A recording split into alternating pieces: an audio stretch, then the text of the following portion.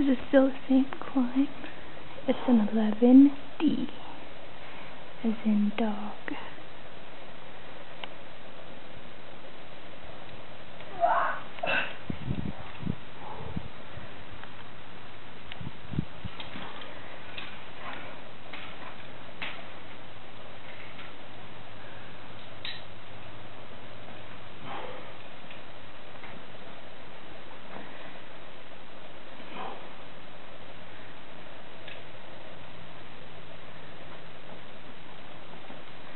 Good.